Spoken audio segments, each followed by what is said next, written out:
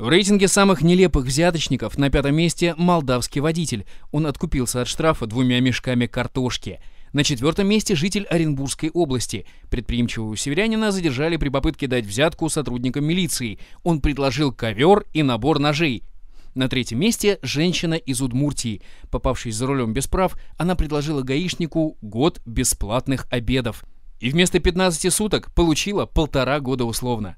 На втором месте сотрудник киргизского военкомата. Его обвинили в вымогательстве индюков.